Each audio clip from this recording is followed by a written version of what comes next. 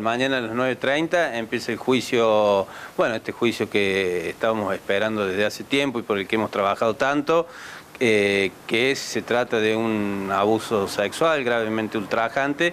Yo creo que la lucha de esta, de esta mujer, eh, por ahí, para mí es un ejemplo, porque si bien durante cinco años sufrió un calvario, eh, no se resignó y, no bajó los brazos y al último se decidió hacer la denuncia y bueno, hoy estamos hablando que estamos a las puertas de, de un juicio oral y público y con el acusado sentado en el banquillo. Mañana se prevé que declare la, víctima de, estos episodios, ¿podría haber algunos testigos? Sí, sí, va a haber seguramente testigos. Mañana se va a hacer la apertura de la audiencia. Eh, de todas formas, eh, tengo que hablar con el doctor Medina, que va a ser el fiscal de la causa, eh, el fiscal del juicio, perdón.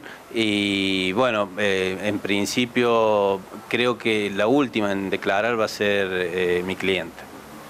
¿Entiende por cómo se ha desarrollado la investigación que hay elementos hartos suficientes como para determinar la responsabilidad penal del acusado? Sí, este tipo de delitos, el que hemos denunciado, eh, son delitos que generalmente se, eh, se llevan a cabo en un ámbito de intimidad.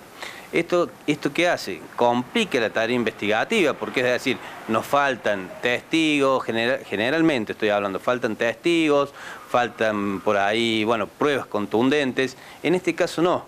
En este caso yo creo que sobran los testimonios, sobran las pruebas contundentes, las cuestiones eh, periciales en lo, en lo psicológico, en lo psiquiátrico, creo que nos apoyan. Así que, eh, y el Tribunal Superior de Justicia de la provincia de Córdoba ha dicho que en este tipo de casos, donde el, delito se lleva a cabo en un ámbito de intimidad, la, declaración de la víctima cobra una importancia preponderante. Así que, en mi opinión, no creo que tengamos inconveniente para probar lo denunciado.